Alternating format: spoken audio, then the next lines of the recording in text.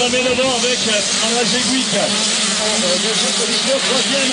Arrivé Anthony Blanchet. Anthony Blanchet, le